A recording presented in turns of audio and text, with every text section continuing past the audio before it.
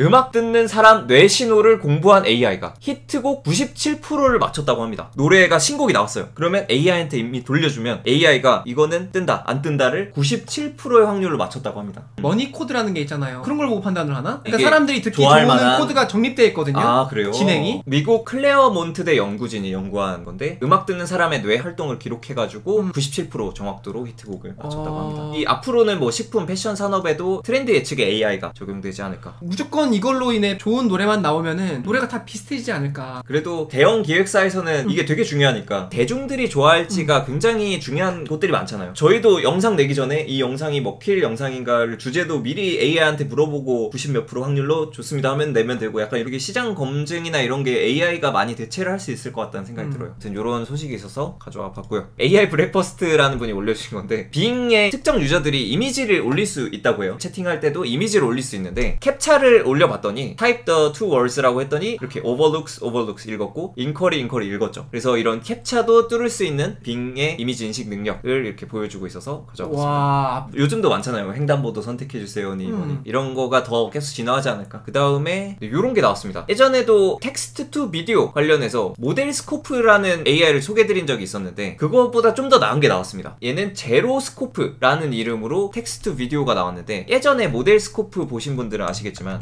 ModelScope는 안 좋았던 점이 항상 watermark가 있었어요. 네, 이런 게 있어가지고 굉장히 좀 보였는데. 학습을 이상한 걸 해버렸네. 그죠? Shutterstock이 워낙 영상이 많으니까 그걸 다 그냥 몰래 빼돌렸는지. 오. 새로 나온 Zeroscope는 그런 게 없다. 이 영상을 한번 보시죠.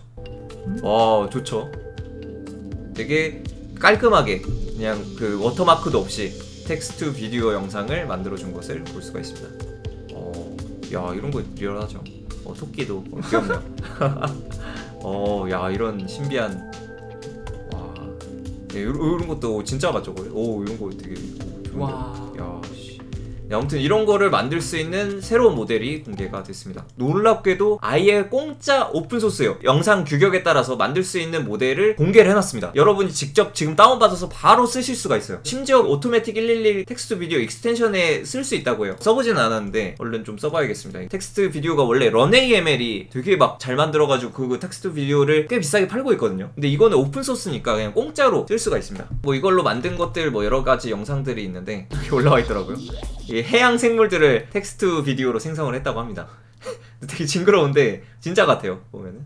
오 진짜 같죠? 오 이게 다 그냥 텍스트 비디오로 생성한 거라고 합니다. 근데 되게 화질이 좋아요 일단. 거의 뭐 FHD의 반 정도까지는 온 것 같네요. 어, 그러니까 좀 이상하긴 한데 네, 그럴싸하죠 네. 그래도. 어, 이런 영상이 텍스트 비디오로 생성을 할 수가 있습니다. 그 다음에 Midjourney 5.2 버전이 나왔습니다. Midjourney 5 버전 하면서 와 너무 잘 나왔다 했는데 새로운 기능 중에 zoom out이라는 기능이 추가됐다고 합니다. 이런 사진이 있다. 그럼 zoom out 바깥으로 당기면 어떻게 되냐?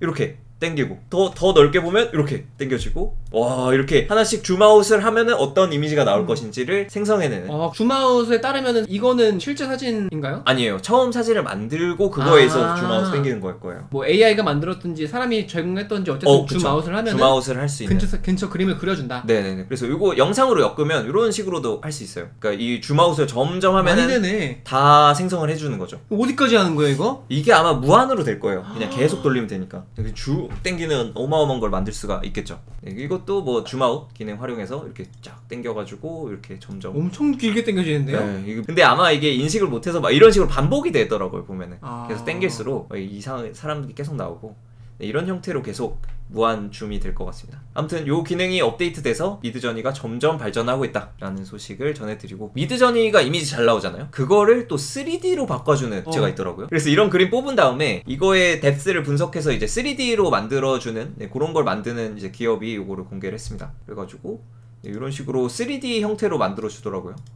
이거를 어떻게 depth를 분석했는지 자세한 기술은 아마 여기서도 공개를 안 하겠지만 뭐 심지어 이것도 되더라고요. 캐릭터를 얹어서 이 3D 배경을 맵을 돌아다니듯이 게임 화면을 돌아다니듯이 이렇게 캐릭터를 움직일 수 있다고 합니다. 그러면은 이제 게임 맵 같은 거 생성할 때 진짜 원래 공수 엄청 많이 들었을 거잖아요. 근데 이거를 이제 생성해가지고 맵 만들고 캐릭터 그냥 돌아다니게 하고 근데 이럴 수가 있을 것 같습니다. Stable Diffusion도 질 수 없죠. 음. Stability AI에서도 SDXL이라는 모델이 원래 예전에도 있었는데 이걸 0.9 버전을 공개를 했습니다. 이게 왼쪽이 예전 버전 그리고 베타 버전이었고 오른쪽이 0.9 버전. 어 제가 본 뉴스는 네네. 그 Stable Diffusion에서 이제 손도 제대로 표현하기 시작했다고. 그래요? 원래 아, 네네. AI를 구분하는 가장 큰 지표 음. 중에 하나가 아, 손이 손. 제대로 네네. 있냐였잖아요. 근데 어. 이번에 손에 신경을 정말 많이 쓴 것 같더라고요. 그래요? 오. 손도 아주 지금 손을 강조하고 있잖아요. 아 그러네요, 그러네요. 어. 이번 업데이트로 손도 아주 잘 어. 표현할 수 있도록 업데이트했다. 그 전에도 발전이 되게 빨라서 open source 중에도 이 detecting을 해서 손이 이상하면 고쳐주는 것도 있긴 하더라고요 예전에. 음. 근데 이거를 점점 좋아지는 것 같습니다. 그래서 Stability AI가 Clipdrop이라는 서비스를 운영하고 있거든요. Clipdrop에서 지금 써볼 수 있습니다. 이런 거 해볼까요? 일론 네, 오. 한번 generate 해보. 어, 아 돈- 빨리 하려면 돈. 아 좀 더 빨리 하고 싶으면 돈 내라고. 오, 야, 어, 아니. 아저 체력차가 일론- 너무 많이 나네. 어, 일론이 두 명이네. 어. 아니 저게 요새 또 AI가 많잖아요. 아, 예. 저 AI 그림 진짜 아, 많이 올라오더라고요. 진짜 많이 올라오더라고요. 이런 식으로 만들어 샘플들이 좀 있어요. 그래서 이렇게 만들 수 있다고 합니다.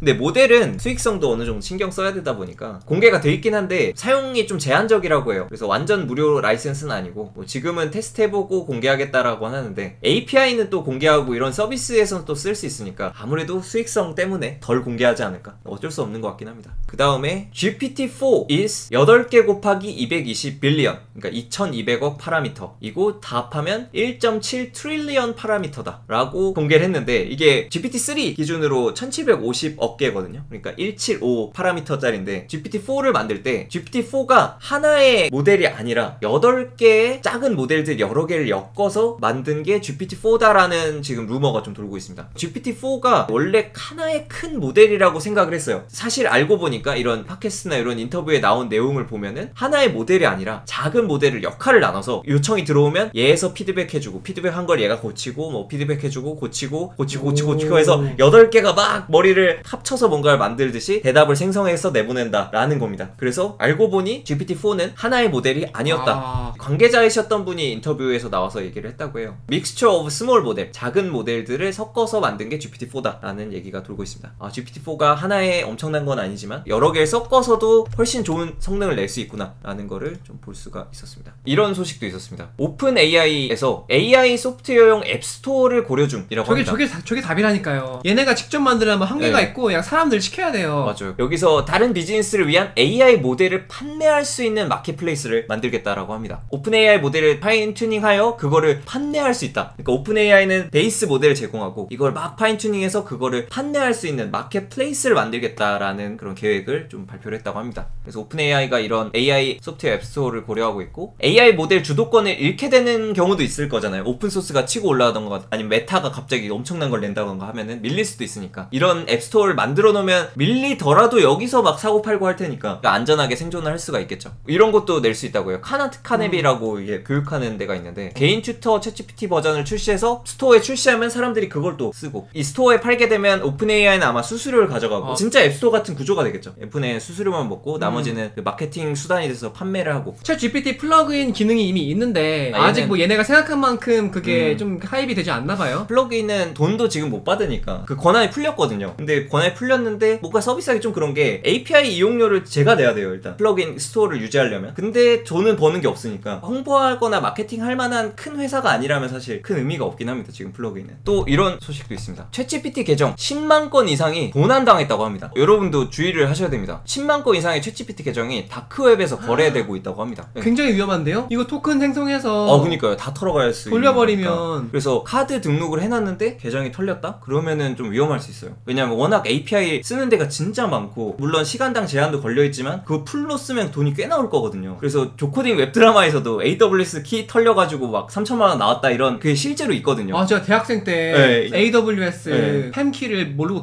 아이고야. GitHub에 올렸다가 한 8,000불 나와버렸어요. 아, 8,000불. 어이구야. 한 천만 원, 8,000 천만 원. 네. 아마존이 진짜 착한 게. 환불해줘요. 그래서 정말 정말 다행이었어요. 아, 그걸 노린 해커가 되게 많다고 해요. 왜냐면 그 PEM key만 있으면 서버 만들어서 코인 채굴하고 음. 이럴 수 있으니까. 그래서 이런 케이스가 되게 많습니다. API 키는 public한 데에 올리면 절대 안 됩니다. 주의하셔야 되고 계정 정보나 이런 거 털리면은 키 계속 생성할 수 있으니까 그건 더 위험하고요. 키 계정 생성하신 분들 다 한번 삭제 싹 하시고 그거 확인해봐야겠네요. 비리 막 몇 첩을 네. 찍혀 있는 거 아닌지 모르겠네. 다음 뉴스. GitHub trending에 스타가 32,000개가 순식간에 찍히고 엄청나게 올라온 GPT 엔지니어라는 repository가 엄청나게 화제입니다. 이름 그대로 GPT 엔지니어를 한 명 고용한 것 같은 효과를 내는 코드입니다. 어떤 거냐? 프롬프트 기반으로 개발을 해주는 개발자의 역할입니다. 전체 코드를 생성하 는 오픈소스고요. 개발하고 싶은 것만 말하면 어, 나 이런 게임을 만들고 싶어 라고 하면 AI가 스스로 막 만들다가 궁금한 것들을 물어봅니다. 어, 이거 이렇게 만드는 거 맞아? 이거 확인이 필요한데 맞아? 하고 물어보면 그거 답변을 해주면 AI가 그걸 기반으로 소스 코드를 쫙 생성해주는 거죠. 그래서 어떻게 보면 개발자 한 명 고용한 것 같은 효과를 내는데 영상을 한번 보시죠.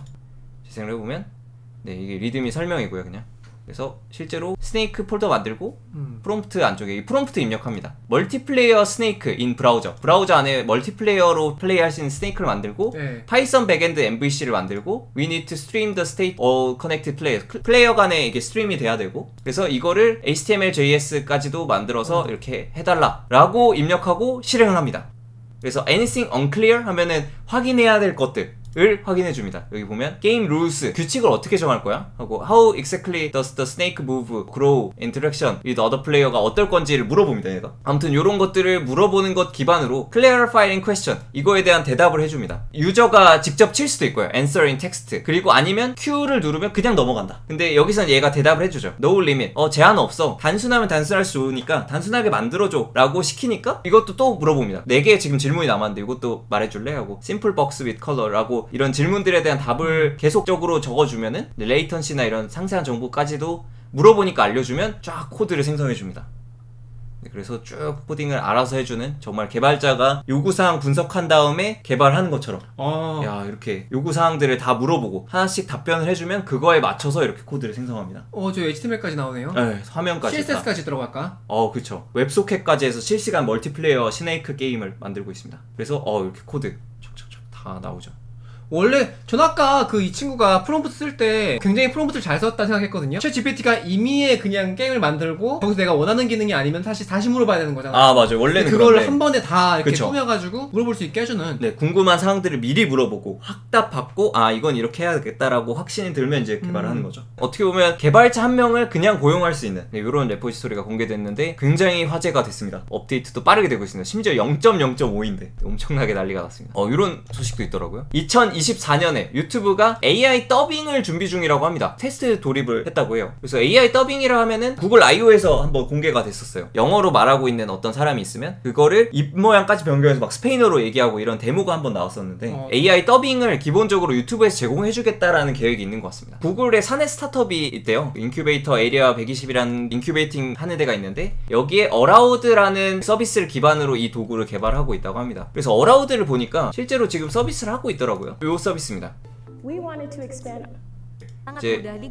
이렇게. Saya sudah berhasil menyusun 입 모양 안 맞으니까 확 불편한데요? 구글에서 보여준 데모는 입모양까지 바꿨거든요. 아? 여기서 보여준 게 입모양도 바뀌는. 저도 사실 조카소에 지금은 자막만 되는데 더빙 기능도 하려고 했었는데 구글이 공식적으로 준비하고 있으니까 경쟁이 쉽지 않겠다. Dropbox가 AI 검색 툴 Dropbox Dash라는 거를 공개를 했습니다. Dropbox가 원래 파일 클라- 저장하는 뭐, 그런 클라우드. 거잖아요. 어떻게 활용하냐? 파일이니 아니면 북마크니 이런 거 다 올라가잖아요. 그거를 다 텍스트를 embedding 해놔가지고 여기서 서치를 할 수가 있다 고 합니다. 그러니까 AI를 이용해서 어. 예를 들어 1대1 미팅 검색하면은 여기 관련해서 내가 저장해 놓은 1대1 미팅 데이터를 다 가져오는 거죠. 구글 캘린더에서 가져오고 얘는 엑셀 그 구글 Docs에서 가져오고 저장해 놓은 모든 것에서 다 가져오는 겁니다. 연동을 시켜 놓은 거겠죠. 권한을 풀어 놓으면은 내 음. 지메일이나 일정이나 이런 것까지 다 연동해서 그거를 벡터 데이터베이스에 아마 저장을 해 놨을 것 같아요. 개인별로. 그래서 거기서 내가 검색하는 키워드에 따라서 어떤 게 있는지 먼저 서치해서 가져오고 그거 기반으로 이렇게 검색할 수 있게 해주는 AI 도구를 출시했다고 합니다. 하이퍼 클로바 X 막판 당금질로 네, 직원 테스트를 진행하고 있다고 합니다. 어, 내부에서는 챗 GPT를 넘어섰다라는 평가가 이제 임직원들 전체 대상으로 이걸 뿌렸다고 해요. 블라인드에서는 솔직하게 좀 의견을 밝힐 수가 있잖아요. 내가 볼 때 GPT-3보다 못함, 몇몇 못하는 부분이 있음. 근데 속도는 빠르더라. 사내 베타 테스트라 그런지. AI 테마 단물 빠진 다음에 출시한 텐데. 사내 베타 중 GPT-4보다 못함. 한국어는 GPT 아. 3.5랑 동급 플러스 알파라고 생각하시는 분도 있고. 근데 사람들이 네이버에 기대하 는 기대하는 건 한국말에 특화된 거잖아요. 한국어는 좀 잘 서비스만 한다면 충분히 어느 한 분야에서 이점이 있을 수 있는데 그쵸. 근데 동급 정도면 사실 GPT도 한글 잘하니까. 꽤 잘 하더라고요. 근데 심지어 GPT-4보다 못함이면 차라리 GPT-4를 쓰지 않을까. 더 잘하는 부분도 있고 못하는 부분도 있음. 아직까지 외국어는 떨어지고 한국어는 GPT 3.5 수준인 것 같음. 본인은 챗GPT 유료 결제자라고 음. 남겨주셨습니다. 중립적으로 썼네요. 네, 그럼 한국어가 근데 GPT 3.5 수준이면 사실 크게 쓸 이유는 없지 않을까 싶은데 또 모르겠습니다. 또 강 점들을 여러 가지 하겠죠. 우리나라 소식까지 해서 AI 뉴스들을 한번 쭉 다뤄봤습니다. 좋아요 한 번씩만 부탁드립니다.